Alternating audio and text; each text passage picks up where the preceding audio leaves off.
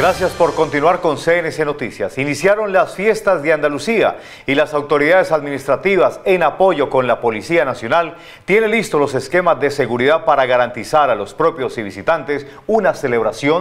Aproximadamente 150 uniformados llegarán a la capital de la gelatina para reforzar la seguridad en estas fiestas que se desarrollarán del 17 al 20 de enero.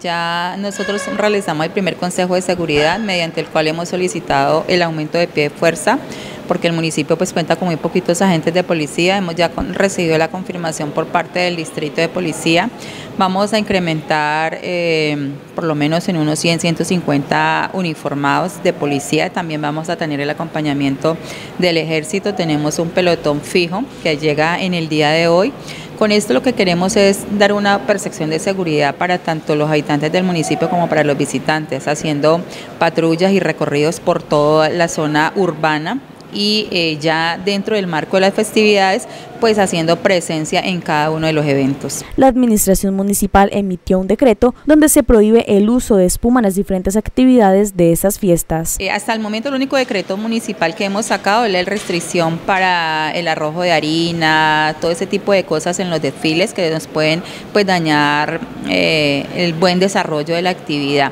Además se contarán con medidas especiales para lo que será el Festival del Río el día domingo 20 de enero. Es un evento de mucha, mucha afluencia. Nosotros ponemos todo pues el dispositivo en cuanto al ingreso de vehículos y motos.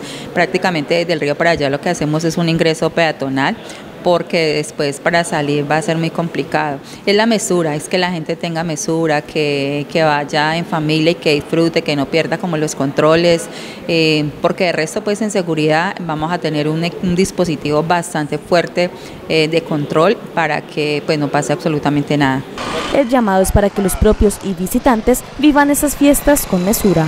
Sí, claro, nosotros tanto a la comunidad andaluz como a todos nuestros visitantes les estamos haciendo la invitación para que vengan y gocen de estas festividades que han sido siempre dentro de un marco de tranquilidad, de seguridad.